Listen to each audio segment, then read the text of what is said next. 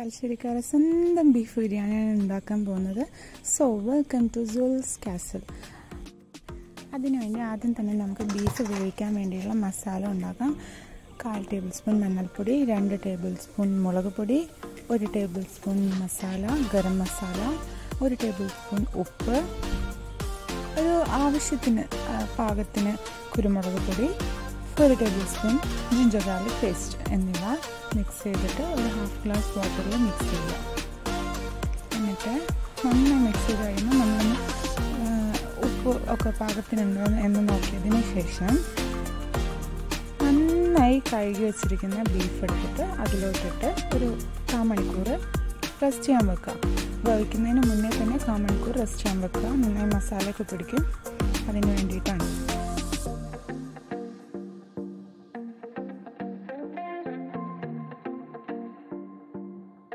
മസാല പിടിക്കാൻ വെച്ച ബീഫ് നമുക്കിനി കുക്കറിലിട്ട് ആവശ്യത്തിന് വെള്ളം വെച്ച് ഒരു പത്ത് മിനിറ്റ് ലോ ഫ്ലെയിമിൽ വേവിക്കാം.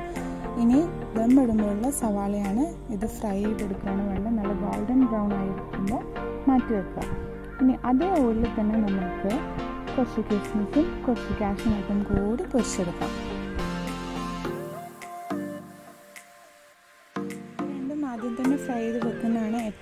ഏറ്റവും കാരണം ദമ്മിന് വേണ്ട ഏറ്റവും അത്യാവശ്യമായിട്ടുള്ള സാധനമാണ് ഇത് രണ്ടും.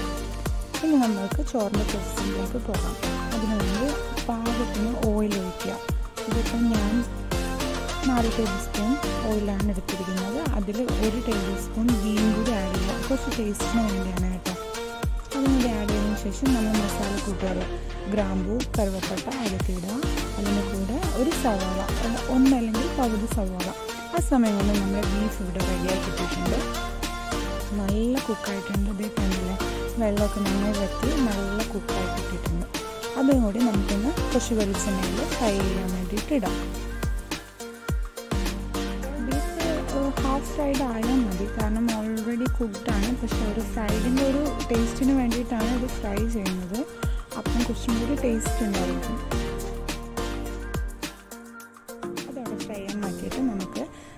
വഴറ്റാൻ വെച്ച സവാളിലേക്ക് ഒരു ടേബിൾ സ്പൂൺ ഇഞ്ചി വെളുത്തുള്ളി പച്ചമുളക് എന്നിവ ഗ്രൈൻഡ് ചെയ്തത് ഇട്ട് കൊടുക്കുക. നന്നായി. നന്നായി മിക്സ് ചെയ്ത് വെള്ളമൊഴിക്കുക. എടുത്തിരിക്കുന്ന അരിയുടെ രണ്ട് കപ്പ് അളവിലാണ് വെള്ളം ഒഴിക്കേണ്ടത്. പാകത്തിന് ഉപ്പിട്ട് നന്നായി ഇളക്കുക. ഒരു ലൈമും കൂടി ഇടുക. ഞാനിപ്പോൾ ഒരു കിലോ അരിയാണ് എടുത്തിരിക്കുന്നത്. അതിന്റെ അളവാണ് ഞാനിവിടെ പറഞ്ഞുകൊണ്ടിരിക്കുന്നത്. അതൊന്ന് തിളക്കാൻ വേണ്ടി വെച്ചിട്ടുണ്ട്. തിളച്ച് വരുമ്പോൾ അരി ഇടുക. അരിയിട്ട് നന്നായി ഇളക്കി ഒന്നും ബോയിലാവുമ്പോഴേക്കും നമുക്ക് ലോ ഫ്ലെയിമിലേക്ക് മാറ്റാം. നമുക്ക് ചോറിന് സ്ലോലി റെഡി ആവട്ടെ. ഇനി നമുക്ക് മസാലയുടെ പ്രോസസ്സിംഗ് ആണ്. അതിന് വേണ്ടിയിട്ട് രണ്ട് ടേബിൾ സ്പൂൺ ജിഞ്ചർ ഗാർലിക് പച്ചമുളക് എന്നിവ ഗ്രൈൻഡ് ചെയ്ത് ഇട്ട് കൊടുക്കുക. പേസ്റ്റ് ആക്കണമെന്നില്ല. കുറച്ചൊരു ഇങ്ങനെ ഇരിക്കുന്നതാണ് നല്ലത്.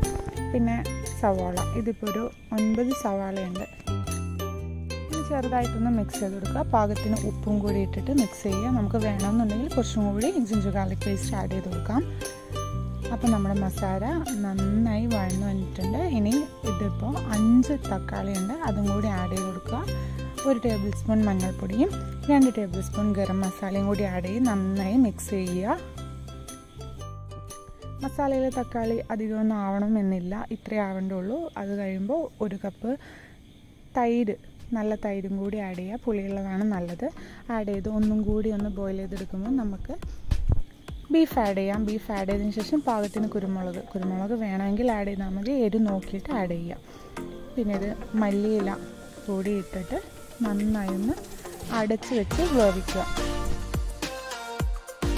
നമ്മുടെ മസാലയുടെ പ്രോസസ്സിങ് ഓൾമോസ്റ്റ് കഴിഞ്ഞിട്ടുണ്ട്. ഇത് നന്നായി നല്ല സ്മെല്ലും നല്ലൊരു ടേസ്റ്റുമായിട്ട് വന്നിട്ടുണ്ട്. നമുക്ക് വേണ്ടത് നെക്സ്റ്റ് സ്റ്റെപ്പാണ് നമ്മൾ ദമ്മുടെ സ്റ്റെപ്പാണ് അതിനുവേണ്ടി ഫ്രൈഡ് ഒണിയൻ കിസ്മിസ് ഫ്രൈഡ് കാഷ്നട്ട് പിന്നെ മല്ലിയില. മെയിനാണ് മല്ലിയിലയും പുതിനയും. ഞാനിവിടെ മല്ലിയിലയാണ് എടുത്തിരിക്കുന്നത്. പിന്നെ രണ്ട് ടൈപ്പ് കളർ എടുത്തിട്ടുണ്ട്. നിങ്ങൾക്ക് ആവശ്യമുണ്ടെങ്കിൽ എടുക്കാം. അപ്പോൾ മസാല ഒന്നും കൂടി ഇളക്കി താഴത്തെ ലെയർ സെറ്റാക്കുക നമ്മുടെ ചോറ് ഇടുന്നുണ്ട് ഇനി നമ്മൾ ദമ്മിടൽ പ്രോസസ്സിംഗ് ആണ്. കുറച്ച് ഫ്രൈഡ് ഒണിയനും കാഷ്നട്ട് ഇട്ട് കൊടുക്കുക പിന്നെ അതിന്റെ മേൽക്ക് ചോറ് ഇടുക. ചോറ് ഒരു ലെയർ നന്നായി നല്ല സ്പ്രെഡ് ചെയ്ത് കൊടുക്കുക. മസാലയുടെ മേളിലായിട്ട്. ഇത് നമ്മൾ പക്ക തലശ്ശേരി ദം ബിരിയാണിയാണ്. അപ്പോൾ നന്നായി സെറ്റാക്കുക. ഇനി നമുക്ക് കളർ ആഡ് ചെയ്യാം. രണ്ട് ടൈപ്പ് കളർ ഇട്ടിട്ടുണ്ട് ഞാൻ. യെല്ലോ റെഡ് അത് രണ്ടും മിക്സ് ചെയ്യുക. ലൈമ് റോസ് വാട്ടർ മിക്സ് ചെയ്തിട്ടാണ് കളർ ഉണ്ടാക്കിയിരിക്കുന്നത്. പിന്നെ മല്ലിയില ഇട്ട് ഫ്രൈഡ് ഓണിയൻസ് ഇടുക. നന്നായും സെറ്റാക്കുക അതിന്റെ മേളിൽ ബാക്കി കുറച്ച് മസാലപ്പൊടിയും കൂടി ആഡ് ചെയ്യുമ്പോഴാണ് കറക്റ്റ് ദം ബിരിയാണിയുടെ സ്മെല്ലും എല്ലാം വരുന്നത്. ദം ആകുമ്പോഴത്തേക്കും ഇനി ബാക്കിയുള്ള ചോറും കൂടി അതിന് മേളിൽ ആഡ് ചെയ്ത് കൊടുക്കാം. ഓണിയനും ബാക്കിയുള്ള സാധനങ്ങളെല്ലാം ആ മുമ്പ് ചെയ്ത അതേ സ്റ്റെപ്പ് തന്നെ മലയാളം എല്ലാം കൊണ്ടും ഗാർണിഷ് ചെയ്യുക. കുറച്ച് മസാലപ്പൊടിയും കൂടി ആഡ് ചെയ്യുക.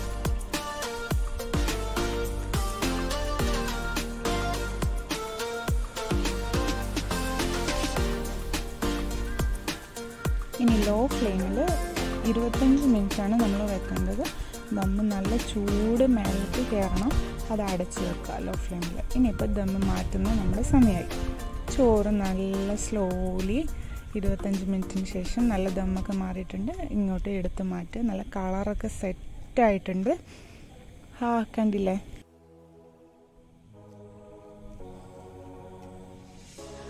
ഈ സമയത്ത് നല്ലൊരു സ്മെല്ല് വരും കേട്ടോ. ഈ മസാലയുടെ ആ ഒരു സ്മെല്ലില്ലേ പ്രോപ്പർ ബിരിയാണിയുടെ ആ മണം. ഓഫ് ഒരു രക്ഷയില്ല. മേലെയുള്ള ചോറൊക്കെ മാറ്റിയതിന് ശേഷം നമുക്ക് മസാലയും ഒരു പാത്രത്തിലേക്ക് മാറ്റാവുന്നതാണ്.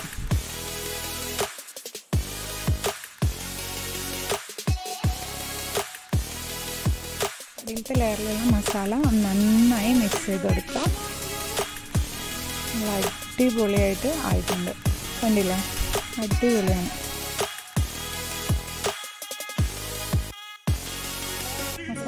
പാത്രത്തിലേക്ക് മാറ്റി വെക്കാം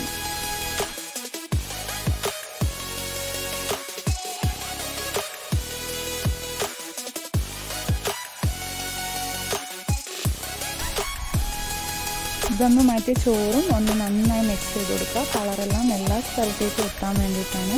ആ മസാലയുടെ ആ ഒരു ഫ്ലേവർ ഇറങ്ങിയിട്ടുണ്ടല്ലോ എല്ലാ സ്ഥലത്തും എത്താൻ വേണ്ടിയിട്ടാണ്. ബാക്കി ഒരു ഫ്രൈഡ് ഓണിയൻസ് വെച്ച് ഗാർണിഷ് ചെയ്യുക. മസാലയുടെ മുകളിൽ കുറച്ച് റൈസും കൂടി ഇട്ട് ഗാർണിഷ് ചെയ്യും.